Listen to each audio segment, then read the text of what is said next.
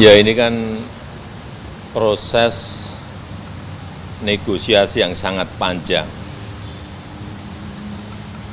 Dan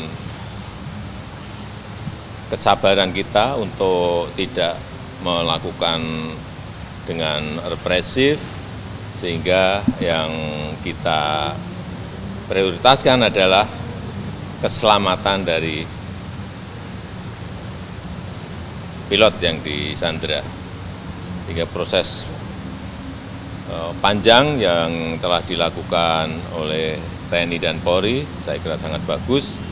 Saya sangat mengapresiasi dan nanti ini akan dibawa ke dari Yaguru ke rumah sakit terlebih dahulu untuk dicek kesehatannya sehingga setelah itu akan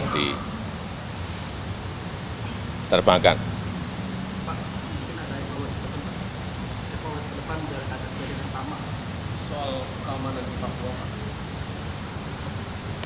Dalam setiap kegiatan di Papua, saya selalu menekankan agar didampingi oleh pihak aparat keamanan.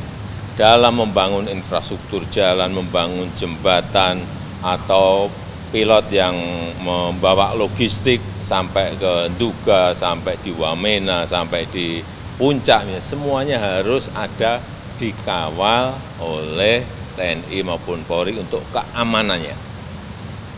Membangun jembatan juga harus ditunggui oleh aparat keamanan sehingga semuanya berjalan dengan baik dan tidak ada lagi peristiwa penyanderaan seperti ini. Ya, saya rasa itu. Eh, diplomasinya seperti apa sih Pak sampai akhirnya Ya, tidak perlu disampaikan tapi ada proses negosiasi. Ya.